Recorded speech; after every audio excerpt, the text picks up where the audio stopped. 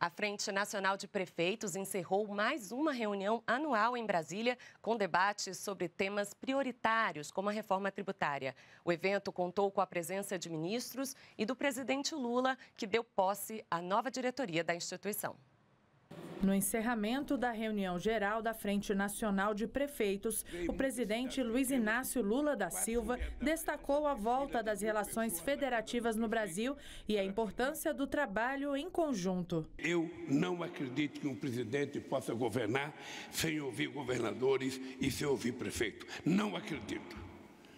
Acho que a gente tem que entender que trabalhando separado a gente é muito fraco trabalhando junto, nós somos muito fortes. Lula aproveitou o evento com prefeitos para conhecer a réplica da Sala das Cidades e Estados da Caixa Econômica Federal.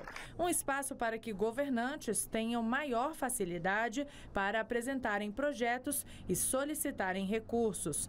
No encontro anual, representantes de prefeituras de todo o país também debateram sobre as principais demandas com ministros de Estado, incluindo a reforma tributária tributária.